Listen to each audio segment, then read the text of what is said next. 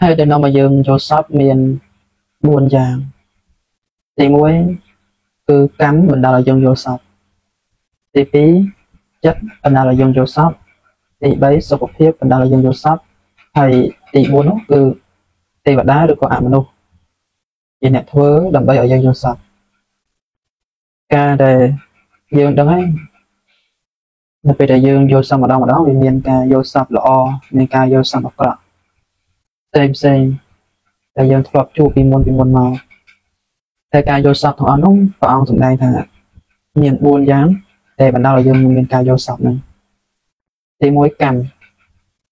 ទី2ចិត្តទី3សុខភាពទី4មនុស្សទី4អមនុស្សឬក៏ទេវតាដែលបណ្ដាលឲ្យយើងយល់សពហ្នឹងឥឡូវសូមបែងចែកមួយមួយដើម្បីឲ្យយើងបានយល់តែថាព្រះពុទ្ធសាសនាបានសម្ដែងទេអំពី ហេតុអ្វីបានជាមនុស្សមានការយល់សពមានការសុបិននៅក្នុងពេលយប់ឬក៏ពេលថ្ងៃនៅពេលដែលខ្លួនឯងដេកពេលថ្ងៃអ្នកខ្លះដេកពេលថ្ងៃក៏យល់សពអ្នកខ្លះដេកពេលយប់ក៏យល់សពអញ្ចឹងតើព្រះសម្មាសម្ពុទ្ធព្រះអង្គបានសម្ដែងទេអំពីការយល់សពទាំងអស់ហ្នឹងព្រះអង្គទ្រង់បានសម្ដែងហើយថាហេតុដែលនាំឲ្យយើងយល់សពគឺបណ្ដាលមកពីហេតុ4ទី1គឺកម្មបណ្ដាលយើងយល់សពទី2ចិត្តបណ្ដាលយើងយល់សព ទី3សុខភាពបណ្ដាលយើងយល់សពហើយទី4នោះគឺទេវតាឬក៏អមនុស្សជាអ្នកធ្វើឲ្យយើងយល់សពឥឡូវយើងបែងចែកទី1យើងទៅមើលទី1ទី1កម្មបណ្ដាលយើងយល់សពហើយយើងដឹងគ្រប់គ្នាហើយស្អីទៅហៅថាកម្មកម្មគឺអំពើអំពើដែលយើងសាងពីមុនពីមុនមកណាដែលថាអំពើទង្វើដែលយើងបានសាងពីមុនពីមុនមកច្រើនក៏ អំពើទាំងអស់នោះវានៅជាប់ក្នុងចិត្តផងយើងវានៅជាប់អញ្ចឹងដល់ពេលយើងដេកដេកទៅអ្នកខ្លះដេកទៅយកសពឃើញតែខ្លួនឯងយកសពតែឃើញតែខ្លួនឯងហ្នឹងទៅសម្រាប់មន់សម្រាប់ទាសម្រាប់ជ្រុកអីចឹងទៅអ្នកខ្លះធ្វើកម្មល្អដល់ពេលគាត់ដេកទៅគាត់យកសពឃើញថាគាត់ហ្នឹងបានតែធ្វើបុណ្យទៅកសាងទៅធ្វើនៅអំពើល្អផ្សេងផ្សេងអាហ្នឹងវាបែងចែកជាកម្មល្អនិងកម្មអាក្រក់ហ្នឹងឯង តែថាយើងទាំងអស់គ្នាតែងតែនិយាយគ្រប់គ្នាថាសាងកម្មល្អបានល្អសាងកម្មអាក្រក់បានអាក្រក់នោះណាសាងកម្មល្អបានល្អវាជាការពិតហើយព្រោះចុងក្រោយនៃជីវិត គឺកម្មទាំងអស់នោះវាធ្វើឲ្យយើងនឹងបានឃើញទាំងអស់ពេលអ្នកខ្លះអីរៀបនឹងស្លាប់ទៅបានឃើញទង្វើខ្លួនឯងជាកុសលអញ្ចឹងទៅក៏បានទៅកើតនៅក្នុងទីបរមសុខទៅអ្នកខ្លះមុននឹងស្លាប់បានឃើញ នៅទង្វើមិនល្អរបស់ខ្លួនឯងទៅស្លាប់ទៅទៅសោយទុគតិភពទៅហ្នឹងវាទៅតាមកម្មរបស់សត្វនីមួយនីមួយហើយកម្មរបស់សត្វនីមួយនីមួយវាខុសគ្នាវាមិនមែនដូចគ្នាទាំងអស់ទេតែញាតិញោមបរិស័ទមួយចំនួនគាត់ថាអូដែលគុណខ្ញុំកណា មានកម្មច្រើនណាមានកម្មច្រើនណាតើធ្វើយ៉ាងម៉េចទៅដើម្បីឲ្យលះកម្មធ្វើយ៉ាងម៉េចទៅដើម្បីឲ្យលះកម្មញាតិញោមមួយចំនួនហ្នឹងគាត់ភ័យ គាត់ធ្វើកម្មច្រើនធ្វើអំពើបាបច្រើនតែអញ្ចឹងគាត់ដេកដេកទៅគាត់អសពឃើញតែគាត់នឹងធ្វើអំពើបាបហ្នឹងណាអញ្ចឹងគាត់ភ័យខ្លួនគាត់គាត់ភ័យខ្លួនគាត់គាត់នៅគ្នាទៅវត្តដើម្បីឲ្យលោកនឹងជួយរំដោះកម្មទៅវត្តដើម្បីធ្វើអីគឺដើម្បីឲ្យប្រសងជួយរំដោះកម្មញាតិញោមញាតិញោមមួយចំនួនក៏អញ្ចឹងដែរប៉ុន្តែការពិតទៅកម្មនៅតែជាកម្មបុណ្យនៅតែជាបុណ្យអកុសលនៅតែជាអកុសលគ្មានបុគ្គលណារំដោះបានទេសូម្បីតែព្រះមហាមុគលាននៅតែនៅចិត្តចុងក្រោយរបស់ព្រះអង្គនៅតែស្លាប់ដោយសារតែពួកចោរ500មកកាប់សម្លាប់ព្រះអង្គជាជំរាកជំរាកហ្នឹងជាតិចុងក្រោយរបស់ព្រះមហាមុគលានផងហេតុអីបានជាចោរហ្នឹងវាទៅកាប់សម្លាប់ព្រះមហាមុគលានដោយសារជាតិមុនមុនមកនោះព្រះមហាមុគលានហ្នឹងធ្លាប់សម្លាប់ឪពុកម្ដាយខ្លួនឯងដោយបន្លំខ្លួនហ្នឹងធ្វើជាចោរ ដល់មកដល់ទៅស្លាប់ទៅទៅកើតនៅក្នុងអវិជ្ជនិរោធអស់មួយកាប់ផែនដីដល់ចេញពីអវិជ្ជនិរោធហ្នឹងកើតជាប្រែតចេញពីប្រែតមកកើតជាសត្វតិរិឆានចេញពីសត្វតិរិឆានមកមកកើតជាមនុស្សនេះដល់ពេលមកដល់កើតជាមនុស្ស500ជាតិណា500ជាតិនៅតែមានគេកាប់សម្លាប់ចុងក្រោយនៃជីវិតរបស់ព្រះមហាមុគលានត្រូវពួកចាស់500មកកាប់សម្លាប់ព្រះអង្គនឹងដោយសារអីដោយសារកម្មហើ យតាណាគេទៅហាមឃាត់កម្មបានមានណាគេហាមឃាត់កម្មបានទេតែញាតិញោមអ្នកមកធ្វើបុណ្យក្នុងវត្តហ្នឹងយើងមកធ្វើបុណ្យក្នុងវត្តមិនមែនមកឲ្យអស់កម្មទេណាមកធ្វើបុណ្យក្នុងវត្តគឺដើម្បីមកមកមកមកមកសាងបុណ្យមកចម្រើនបុណ្យឲ្យយើងនឹងមានបុណ្យជាកុសលបានច្រើនអាកម្មជាកុសលក៏ដោយកម្មជាអកុសលក៏ដោយចុងក្រោយវាទៅតាមយើងទាំងពីរហ្នឹងចុងក្រោយនៃដង្ហើមហ្នឹងវាត្រូវទូទាត់គ្នា បើយើងធ្វើកម្មជាកុសលបានច្រើនទៅញឹកញឹកញយញយទៅយើងនឹងក៏ឃើញនៅកុសលកម្មហ្នឹងមុនទៅតែដល់ពេលយើងធ្វើអកុសលកម្មហ្នឹងវាច្រើនហើយធ្វើអកុសលកម្មហ្នឹងញឹកញឹកញយញយទៀតដល់ពេលរៀបនឹងស្លាប់ទៅណាឃើញតែអកុសលកម្មឃើញតែទង្វើអាក្រក់ខ្លួនឯងហ្នឹងដល់អញ្ចឹងទៅវាធ្វើឲ្យមនុស្សធ្វើឲ្យសត្វទាំងឡាយហ្នឹងធ្លាក់ចូលក្នុងអបាយភូមិដល់ច្រើនអញ្ចឹងមានន័យថា ការដែលយើងយល់សពវាបណ្ដាលមកអំពីកម្មពីមុនមកដែលយើងបានសាងពីមុនមកហ្នឹងណាបាទញោមមួយចំនួនខ្លះគាត់មិនជឿទេរឿងកម្មផលនេះណាគាត់ជឿទៅលើព្រះផងគាត់ខ្ញុំជឿណាក៏ជឿទៅណាណាអាត្មាមិនហាមឃាត់អីទេណាប៉ុន្តែព្រះពុទ្ធសាសនាជាសាសនាមានហេតុផលមិនចេះឲ្យមិនចេះតែឲ្យញាតិញោមពុទ្ធបរិស័ទនឹងជឿតែពេលតែផ្ដាស់ទេណាពុទ្ធសាសនាជាសាសនាមានហេតុផលមុននឹងឲ្យជឿអ្វីមួយគឺត្រូវលើកហេតុផលមកសិនណាដូចយើងឡើងតឡាការអញ្ចឹងណាហ្នឹងហើយ មុននឹងឲ្យតឡាការជឿទៅលើក្តីរបស់យើងវាតតែយើងមានហេតុផលយើងមានផលតាមណាដែលធ្វើឲ្យតឡាការគាត់មានការយល់ព្រមយ៉ាងណាមិញព្រះពុទ្ធសាសនាដូចគ្នាដែរពុទ្ធសាសនាព្រះអង្គតែពន្យល់ឲ្យមនុស្សយល់សិនមិនមែនចេះតែបង្ខំមនុស្សទេដូចអ្នកខ្លះអីបង្ខំមនុស្សអូអ្នកឯងបើមិនជឿទៅលើសាសនាខ្ញុំទេព្រះនឹងដាក់ទោសព្រះហើយណាមកដាក់ទោសឃើញមកឆ្ងល់ដែរអ្នកដែលនិយាយពាក្យហ្នឹងណា អ្នកដែលនិយាយពាក្យថាអេដងថ្ងៃព្រះដាក់ទោសហើយអីណាដងថ្ងៃព្រះកាត់សេចក្តីអីណាអត់ថាចេះឆ្ងល់ចេះតើប្រសិនបើព្រះនឹងដាក់ទោសមែនហ្នឹងព្រះនឹងជាណាគេមិនបានឈ្មោះថាជាព្រះកើតបើព្រះនឹងជាអ្នកដាក់ទោសគេថាព្រះហ្នឹងគេថាព្រះគឺជាបុគ្គលមានសេចក្តីសន្តោសមានសេចក្តីមានមេត្តាករណាដល់សពសត្វហើយចុះបើព្រះមកដាក់ទោសព្រះជាអ្នកដាក់ទោសអញ្ចឹងមានន័យថាព្រះនឹងគ្មានចិត្តមេត្តាទេអញ្ចឹងហ្នឹងហើយអញ្ចឹងសរុបសេចក្តីមកគ្មានព្រះឯណាមកដាក់ទោសយើងក្រៅអំពីកម្មផងយើងទេបុគ្គលសាងនៅកម្មណារមែងបាននៅកម្មនោះតោះណាញាតិញោមណាកាលណាគុំចាក់គ្រប់ព្រះអង្គយើងទៅវត្តរសាសិលគឺដើម្បីអីដើម្បីសាងបុណ្យឲ្យបានច្រើនមិនមែនដើម្បីទៅរំដោះកម្មទេញាតិញោមមួយចំនួនទៅវត្តទៅដើម្បីរំដោះកម្មអូព្រះអង្គឲ្យសូមជួយខ្ញុំព្រះអង្គផងសូមជួយខ្ញុំផងខ្ញុំមានកម្មច្រើនណាម្នាក់ម្នាក់ទៅវត្តនឹងសូមវល់កព្រះឲ្យជួយតែខ្លួនឯងចេះជួយខ្លួនឯង ព្រះសម្មាសម្ពុទ្ធទ្រង់សម្ដែងហើយថាអត់តែឲ្យអត្តណោធាថោខ្លួនទីពឹងខ្លួននោះមានព្រះអនាទីពឹងយើងបានទេហ្នឹងហើយវាតតែយើងនឹងចូលទៅចិត្តព្រះហើយអនុវត្តប្រតិបត្តិទៅ បានព្រះសម្មាសម្ពុទ្ធទ្រង់ជួយបានបើយើងអត់ចេះជួយខ្លួនឯងផងម្នាក់ម្នាក់មួយថ្ងៃមួយថ្ងៃក៏តែពីលោភលន់ក៏តែពីចង់បានក៏តែពីសាងកម្មពីបរិញ្ញាគ្នាហើយដល់អញ្ចឹងទៅមកដល់វត្តសូមឲ្យព្រះនឹងជួយរំដោះកម្មដោះមិនរួច ដោះមិនរួចទេហើយបុគ្គលណាខ្លះថាអេ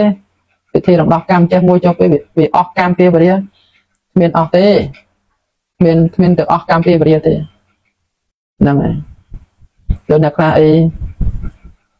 យើងមើលឃើញនៅក្នុងប្រទេសកម្ពុជាយើងជឿជំនឿដែលនាំឲ្យខូចបញ្ញានឹងច្រើនណាស់ច្រើនមែនតើដែលដែលជឿជំនឿទៅលើការដែលអឺណា កាត់កម្មពីវរិយអីហ្នឹងដូចអ្នកខ្លះអីទៅថ្ងៃចូលឆ្នាំអីអ្នកខ្លះហ្នឹងអូទៅពុនភ្នំខ្សាច់ផ្ដាច់កម្មពីណាណាណាគេទៅធ្វើអញ្ចឹងពុទ្ធសាសនាមិនដែលបង្រៀនឲ្យមនុស្សទៅយកដីខ្សាច់ហើយមកពូនឲ្យផ្ដាច់កម្មពីហ្នឹងទេកម្មពីនៅតែកម្មពីអញ្ចឹងគាត់ថាយើងបូជាភ្នំខ្សាច់គឺដើម្បីបូជាចូលតាមនៃចាដីយើងមិនមែនបូជាដើម្បីឲ្យឲ្យអស់កម្មយើងទេកម្មនៅតែកម្មអញ្ចឹងបុណ្យនៅតែបុណ្យអត់មានលេឡំចូលគ្នាបានទេណាតោះណាកម្មប្រៀបបីដូចជាណា កម្មជាកុសលប្រៀបបីដូចជាទឹកកម្មជាអកុសលប្រៀបបីដូចជាភ្លើងអញ្ចឹងភ្លើងនិងទឹកវាដៃចូលវាដៃចូលអីគ្នាអត់ទេអញ្ចឹងបើថា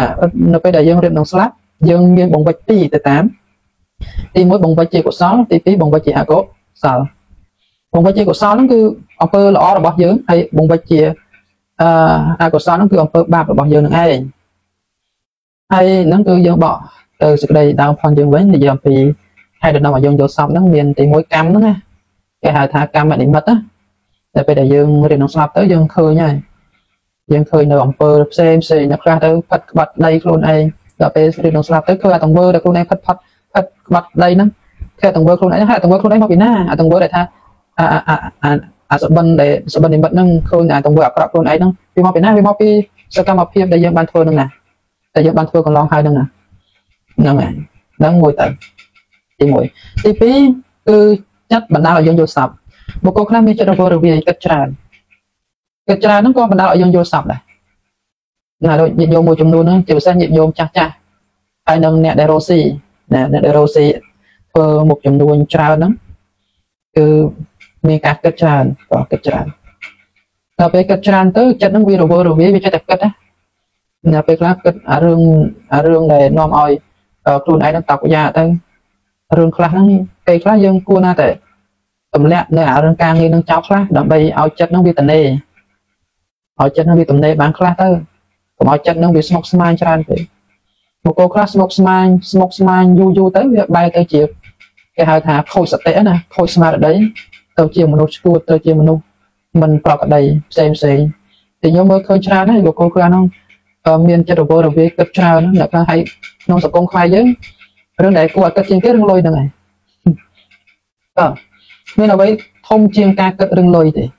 ក្នុងស្រុកខ្មែរយើងគឺចាំមិនបានត្រូវគិតព្រោះមនុស្សយើងត្រូវការរស់នៅត្រូវការរស់នៅត្រូវត្រូវមានសុភមង្គលហើយយើងមនុស្សយើងហ្នឹងត្រូវមានការបរិភោគអាហារហ្នឹងហើយ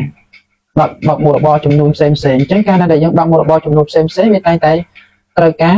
លុយជាចាំបាច់អញ្ចឹងដល់ពេលយើង ខ្ចីលុយពីធនាគារដើម្បីប្រកបអាជីវកម្មហើយអ្នកដែលបង្កើតអាជីវកម្មហ្នឹងគឺជាអ្នកខ្ចីលុយធនាគារច្រើនជាងគេហើយដល់ពេលអាជីវកម្មរបស់យើងវាអត់ដំណើរការឬក៏វាខាត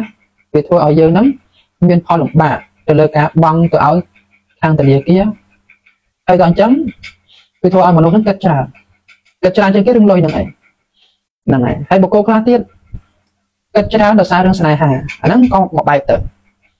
មានណាញោមមានបុគ្គលខ្លះគិតច្រើនរឿងស្នេហាអូគេក្បត់ចិត្តអញគេមិនស្រឡាញ់អញទេអូណាគេមានអ្នកថ្មីហើយអញ្ចឹងតាអ្នកខ្លះនោះគិតគិតយូរយូរទៅវាកើតជា stress វាកើតជាវាកើតជាគំនិតមួយចង់សម្លាប់ខ្លួនប៉ុណ្ណឹងដោយសារដោយសារតែមនុស្សគិតច្រើនអញ្ចឹងមនុស្សយើងដូចនៅប្រទេសគេអ្នកអភិវឌ្ឍអីដូចជានៅសហរដ្ឋអាមេរិកអីប្រជាជនតែគេជួយចិត្តអានសភៅ គេតែងតែមួយសប្តាហ៍គេនាំគ្នាទៅទៅហាត់យូហ្គាអាត្មាឃើញគេធ្វើគេគេហាត់យូហ្គាញោមគេហាត់យូហ្គាគេហាត់នៅពេលព្រឹកពេលព្រឹកពហិមស្រាងស្រាងហ្នឹងហើយអ្នកខ្លះគេមកហាត់ម៉ោង7ព្រឹកក៏មានដែរហើយបើអ្នកខ្លះគេគេងើបលឿនគេមកហាត់ម៉ោង6ព្រឹកអញ្ចឹងទៅហើយបើគេហាត់គេហាត់នៅកន្លែងណាដែលមានធម្មជាតិល្អហើយនឹងមានខ្យល់អាកាសល្អហើយកន្លែងហ្នឹងវាស្ងប់ស្ងាត់ មកគេហាត់បានអាយូហ្គាហ្នឹងភាសាខ្មែរយើងគេហៅថាសមាធិណាភាសាខ្មែរយើងគេហៅថាសមាធិហើយដល់ពេលភាសាអង់គ្លេសគេហៅថាយូហ្គាគេហាត់នឹងដូចសមាធិអញ្ចឹងញញគេហាត់ដូចសមាធិអញ្ចឹងគេអង្គុយពេនភ្នែនគេដាក់ដៃស្ដាំលើដៃឆ្វេងអីធម្មតាអញ្ចឹង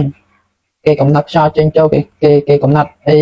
គេគេស្រូបខ្យល់ចូលវែងចេញវែងចូលវែងចេញវែងអញ្ចឹងណាហ្នឹងហើយគាត់ថាវាខុសប្លែកពីសមាធិបន្តិចត្រង់ថាសមាធិគឺធ្វើដើម្បីកំណត់ខ្យល់ណា កំណត់ខ្យល់គឺអត់បង្ខំខ្យល់ទេព្រោះថាការសមាធិដំបូងគេហៅថាសមថកម្មដ្ឋានណាណា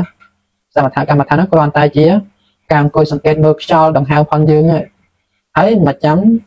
ទៅបង្ខំឲ្យដង្ហើមហ្នឹងចេញវែងចូលវែងមិនទេគាត់ថាកំណត់ដឹងថាបើដង្ហើមហ្នឹងវាចេញវែងក៏កំណត់ដឹងថាហ្នឹងវាចេញវែងអឺដង្ហើមហ្នឹងចូលខ្លីកំណត់ដឹងថាដង្ហើមហ្នឹងវាចូលខ្លីអញ្ចឹងមកណាហើយដល់ពេលយើងកំណត់ចុះឡើងចុះឡើងអញ្ចឹងចិត្តរបស់យើងស្ងប់ណា ស្ងប់ណាស់ណាអញ្ចឹងបានថាអ្នកធ្វើការទាំងឡាយអ្នកមានមុខរបរទាំងឡាយអ្នកមានមុខរបរចំនួនផ្សេងផ្សេងគួរណាដែលយើងមានគេហៅថាអឺពេលទំនេរសម្រាប់ខ្លួនឯងពេលទំនេរសម្រាប់ចិត្តកុំឲ្យចិត្តនឹងវាស្មុគស្មាញនឹងការងារច្រើនពេកមួយសប្តាហ៍យើងនាំគ្នាទៅសមាធិម្ដងទៅមួយសប្តាហ៍នាំគ្នាទៅ refresh កន្លែងណាម្ដងទៅណាហ្នឹងហើយតែយើងហើយក្នុងពេលឧទាហរណ៍ថា មួយសប្តាហ៍វាមានថ្ងៃអាទិត្យអញ្ចឹងយើងយកថ្ងៃអាទិត្យមួយហ្នឹងយើងនាំគ្នាទៅដើរលេងឬក៏ទៅកំសាន្តណាយើងទម្លាក់អាការងារនៅអាជីវកម្មហ្នឹងទុកសិនទៅហ្នឹងហើយដើម្បីអីដើម្បីឲ្យចិត្តផងយើងហ្នឹងវាមានដើមទុនសម្រាប់ឲ្យយើងហ្នឹងបានប្រព្រឹត្តទៅជីវភាពប្រចាំថ្ងៃហ្នឹងព្រោះចិត្តហ្នឹងសំខាន់ណាស់ណាចិត្តដែលយើងតែដែលមាននៅក្នុងខ្លួនប្រាណយើងសពថ្ងៃហ្នឹងចិត្តហ្នឹងវាសំខាន់ណាស់ព្រោះអ្នកខ្លះអីអ្នកខ្លះសម្រាប់ខ្លួនដោយសារតែចិត្តអ្នកខ្លះទៀតណាទៅប្រកប មុខរបរខុសណាខុសពីច្បាប់រដ្ឋធម្មនុញ្ញក៏ដោយសារតែចិត្តនឹងវាបញ្ជាអ្នកខ្លះទៅកើតជាមនុស្សឈួតឡប់ក៏ដោយសារតែចិត្តនឹងជាអ្នកបញ្ជាដោយសារតែយើងវាអត់បានគ្រប់គ្រងចិត្តនឹងអញ្ចឹងចិត្តនឹងវាសំខាន់ណាស់សម្រាប់យើងគ្រប់អង្គគ្រប់គ្នាទាំងអស់ហ្នឹងបើថាណាប្រការណាយើងមិនសង្កេតមើលយើងមិនគ្រប់គ្រងចិត្តនឹងទេចិត្តនឹងវាចេះតែណាទៅពីទៅពីទៅធ្វើឲ្យយើងនឹងគិតរឿងដែលមិនគួរឲ្យគិតណាហ្នឹងហើយដូចអ្នកខ្លះអីគ្រាន់តែសង្សារសង្សារសំបែក ក៏នាំគ្នាទៅលោកទៅសម្រាប់ខ្លួនដែរអត់អ្នកខ្លះទៀតគ្រាន់តែអត់មានការងារធ្វើក៏ទៅលោកទៅសម្រាប់ខ្លួនដែរអ្នកខ្លះទៅគ្រាន់តែអាជីវកម្មមិនដំណើរការក៏ទៅលោកទៅសម្រាប់ខ្លួនដែរហ្នឹងដោយសារអីដោយសារតែគាត់មិនបានគ្រប់គ្រងចិត្តរបស់គាត់កាលណាយើងគ្រប់គ្រងចិត្តឲ្យបាននឹងថឹងទៅយើងគិតថាដំណោះស្រាយអ្វីក៏ដោយវាតែតែមានដំណោះស្រាយមេសោវាតែតែមានកូនសោហើយអញ្ចឹងយើងកុំតែគិតរឿងផ្សេងផ្សេង កុំតែគិតរឿងដែលនាំឲ្យយើងនឹងដល់ដើរដល់ផ្លូវច្រកទៅចុងក្រោយយើងគិតថាបញ្ហាវាតែតែមានដំណោះស្រាយបើថាយើងរកដំណោះស្រាយវាមិនតង់ឃើញអញ្ចឹងណាពេលខ្លះដំណោះស្រាយនោះវាចិត្តបានមកដល់ដល់ពេលយើងវាមិនមិនមានភាពរងចាំនៅដំណោះស្រាយនោះយើងបែរទៅនាំគ្នាទៅសម្រាប់ខ្លួនហ្នឹងហើយនឹងដោយសារអីដោយសារតែយើងគិតខ្លីគិតខ្លីក៏ចេញពីណាមកវាកើតចេញពីចិត្តនឹងឯងហ្នឹងហើយតែយើងវាមិននាំគ្នាអប់រំចិត្តហ្នឹងឯង ណាហើយចិត្តដែលនាំឲ្យយើងយល់សពហ្នឹងគឺយើងគិតច្រើនកាលណាយើងគិតច្រើនក៏នាំឲ្យយើងយល់សពដែរហ្នឹងហើយទី3ហ្នឹងគឺសុខភាព